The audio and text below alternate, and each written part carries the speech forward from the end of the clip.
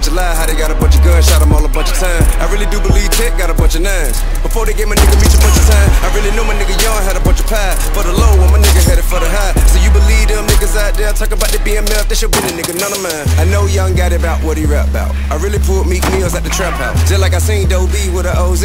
Turn around two week, had a home key. Just cause I said it's a joke, did the dope game did like this, go the nigga when it showed me. Get what I'm trying to say, nigga, I don't know you. And furthermore, pussy nigga, I don't want to. Hold up, we got a problem here? Is it a Have you ever seen a Mac 11? New Tech 9 with the extension. HK, HK 47. Made a men down, call the Raven. I put that on the Bible, boy, count your blessings. Yeah. Put that on the Bible, boy. Hey, pussy count niggas a your problem? blessings.